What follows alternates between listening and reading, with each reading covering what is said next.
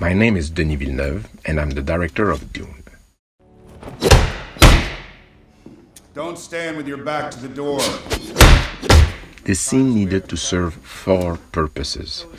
First, to establish the nature of the relationship between Paul Atreides and Gurney Halleck. Two, to give more insight about the context in which the Atreides will move to a new planet named Arrakis. Three, to induce the idea that Paul Atreides has been training for combat but has never really experienced real violence. And four, to introduce the concept of the Holtzman shields and how they change the essence of combat. An Holtzman shield is a technology that protects individuals or vehicles from any fast objects. Therefore, bullets or rockets are obsolete.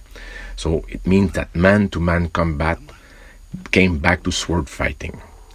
The choreography between Timothée Chalamet, who plays Paul, and Josh Brolin, who plays Gurney Halleck, illustrate that each opponent is trying to distract his adversary by doing very fast moves in order to create an opportunity to insert slowly a blade inside the opponent's shield. I Guess I'm not in the mood today. Mood?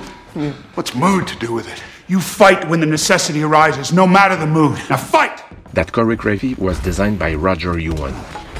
He developed the Atreides fighting style, borrowing from a martial art technique developed in the 50s. This technique was called Baling Tawak Eskrima. It's a style that involved blocking the opponent's attack with both a weapon and the free hand. I have you. Aye. But look down, my lord. You're to join me in death. I see you found the mood. Cinematographer Greig Fraser and I shot the fight like we would shoot a dance performance. The goal was to embrace the complexity of the movements with objective camera angles. We tried to make sure that the audience will understand the nature of this new way of fighting. You don't really understand the grave nature of what's happening to us.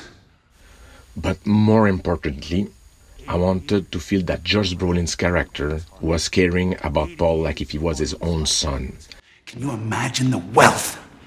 In your eyes, I need to see it in your eyes. You never met Harkonnens before, I have. They're not human, they're brutal! You have to be ready